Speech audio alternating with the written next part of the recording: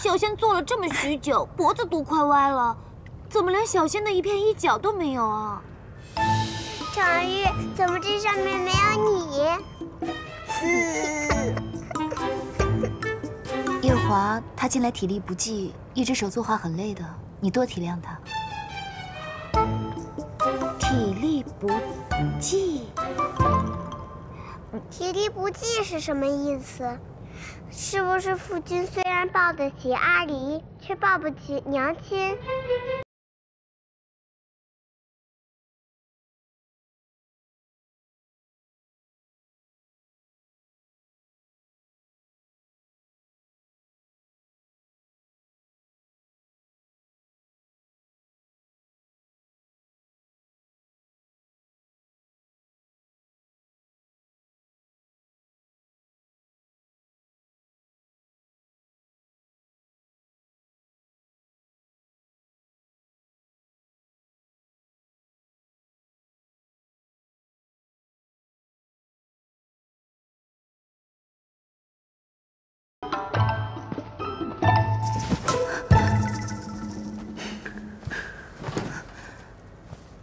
夜华，方才我不要去一览芳华，你不要介意。什么？那个，她毕竟是团子的亲娘。虽然我不知道她为什么会抛下你们，跳下诛仙台，但是死者为大，在她曾经住过的地方与你不太好。我知道。嗯，我还有一件事。你说吧。我已经让奈奈把她的东西锁起来了，也告诉自己不再轻易打开，省得找不痛快。她的东西我已经烧光了。嗯，还有一件事。芊芊，你今天怎么有这么多事情要交代？方才说的都是过去的事，接下来说的这件是最重要的事情。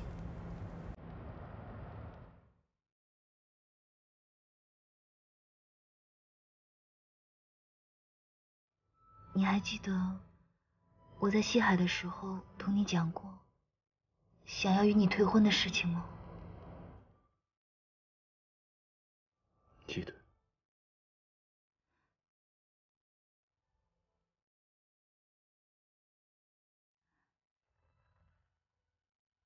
那个时候，我没有瞧清楚自己的真心，说的那番话，你莫放在心上。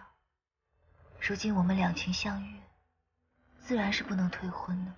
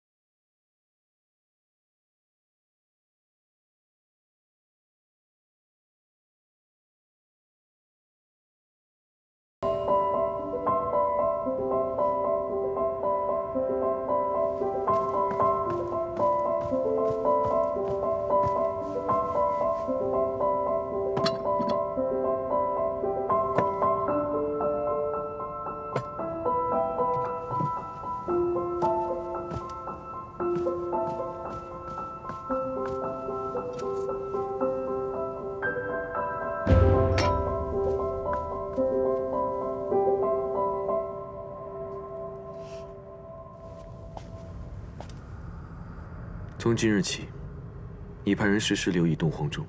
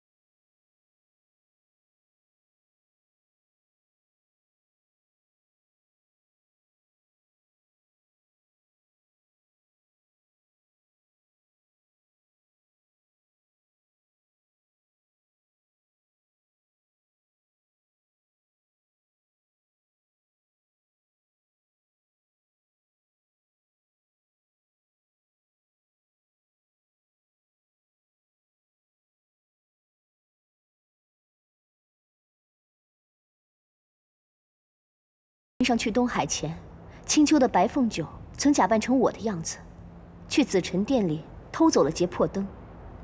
什么？偷走劫魄灯？嗯。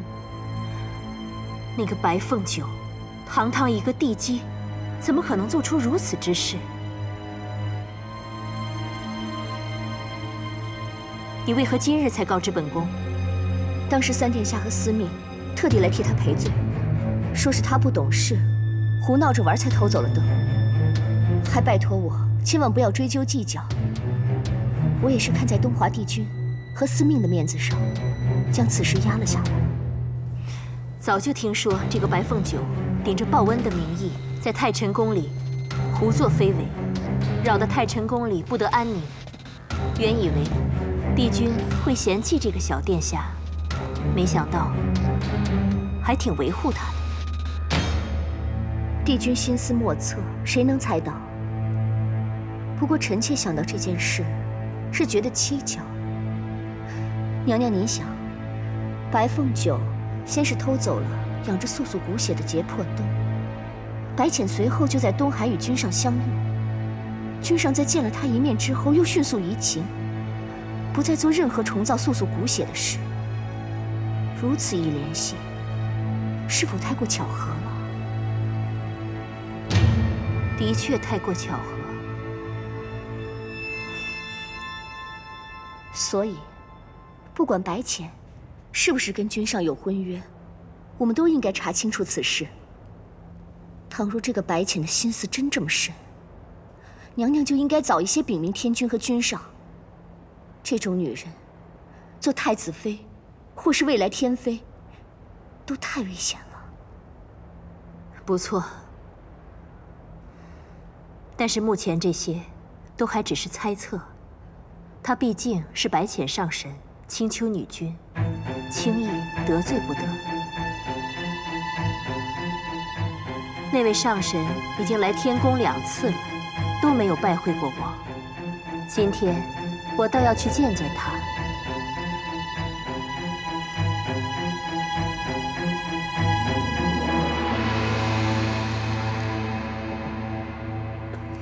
亲，你看的太快了。你一个小孩子家看那么仔细做什么？等我看完了讲给你听啊。嗯。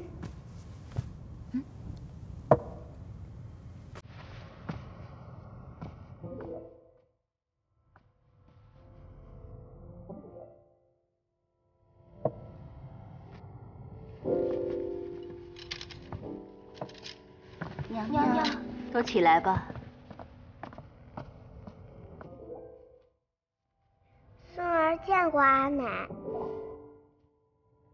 快起来吧。是。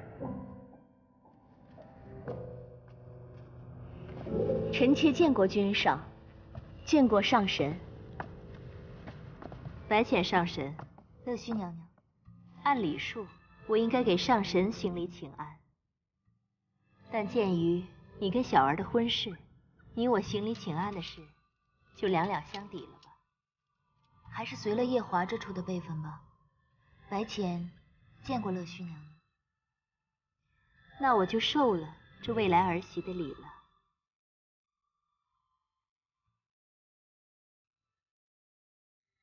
君上，夜华，你看你总忙于政务。茶都没来得及喝就凉了，母妃让人再去沏一杯新的给你，好不好？何必如此麻烦？此茶的温度正合儿臣的胃口。哎，那茶不能喝。这茶有什么问题吗？啊，我只是担心你喝了凉茶，身体会不舒服。你毕竟才刚大病初愈，万一喝了凉茶。身体又病了怎么办？母妃不必忧心，此茶正是浅浅为我准备的，里面添加了不少折颜上神给他的养生补气丹药，正是用来调理身子的。他怎么知道我偷偷放了调理的丹药？原来如此，上神有心了。娘娘无需客气，毕竟夜华也是我未来的夫君，我也希望他尽早调理好身体。话说到这儿，让本宫想起来你二人的婚事。上神已经先后来九重天两趟了，如今也没有要走的意思。要不然，把婚事提到日程上来吧，把这桩喜事提前办了。一来。合乎天族的传统，二来也算了了天君和夜华父君的心事。上神意下如何？虽然我是青丘的女君，但是我毕竟上面还有父母在，婚事也要先问过他们。好，这样我跟天君先说一下，提前准备着。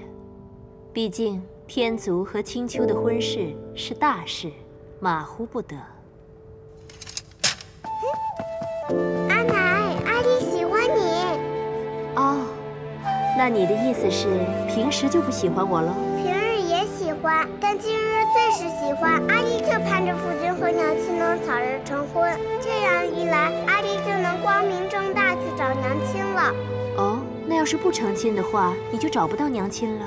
若不成亲，娘亲她总是要顾及天族规矩，偷偷来寻父君。你看这次就又是深夜偷偷来父君的寝殿。若每次都这样，阿离找起来实在不方便。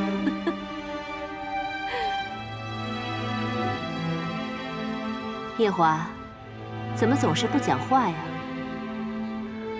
正如母妃所言，此乃天族和青丘的大事。须得由天君和胡帝商谈，急不得。你心里有数，便是最好。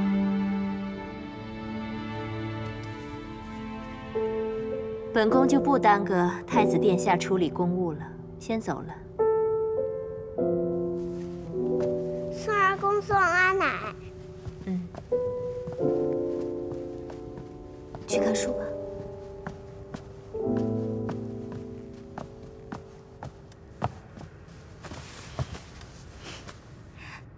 你怎么知道我在你的茶里面下了调养的丹药啊？